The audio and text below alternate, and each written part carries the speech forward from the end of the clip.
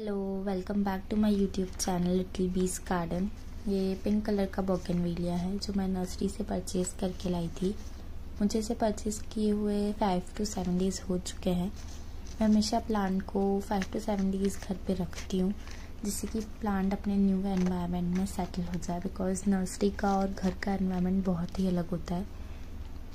अलग ऐसे कि वहाँ पे बहुत सारे प्लांट्स होते हैं जो साथ में रखे हुए रहते हैं। ग्रीन नेट होती है और सनलाइट और बाकी का एटमॉस्फेयर सब अलग होता है और जो घर का है वो अलग हो जाता है। इसीलिए हमें हमेशा प्लांट को फाइव टू सेवन डेज़ रखना चाहिए ताकि प्लांट अच्छे से सेटल हो जाए न्यू एनवायरनमेंट में।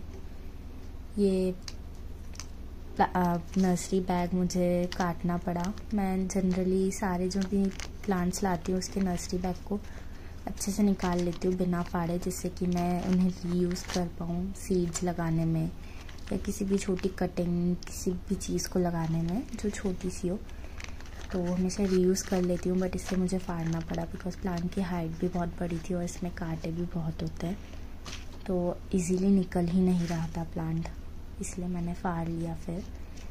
आप भी जितना हो सके नर्सरी बैग को रीयूज़ हमेशा करना ही चाहिए।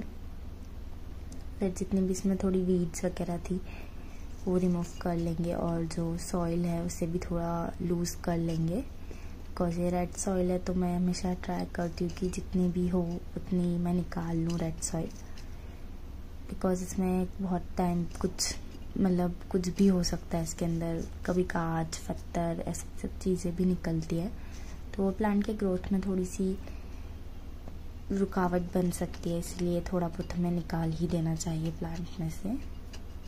फिर इसको नीचे से भी इसकी रूट्स जो है वो बाउंड हो गई थी तो उसको भी अच्छे से हम लूज़ कर लेंगे। धीरे धीरे अच्छे से लूज़ कर लेंगे। और मुझे इस प्लांट की ज़्यादा रूट तो मतलब ज़्यादा सॉइल तो नहीं हटानी थी बट धीरे धीरे वो सब इतनी बाउंड थी कि थोड़ा थोड़ा हटाने पे बहुत सारी हट गई रूट्स और प्लांट की सॉइल फिर मैंने इसे ऐसे ही लगा दिया। प्लांट शॉक में तो आ गया था, मुरझा भी गया था। बट एक वीक में वापस रिकवर हो गया था। मैंने इसकी अच्छे से कटिंग कर दी थी। और मुरझा तो गया था ऑब्वियसली क्योंकि प्लांट की जो रूट्स हैं, वो टूट गई हैं। और इसकी रूट भी मैंने कट कर दी थी बिकॉज़ मुझे ऐसा लग रहा था कि अननेसेसरी है। और मैंने अच्छे से पानी दे दिया था प्लांट को और शेड में ही रखा था।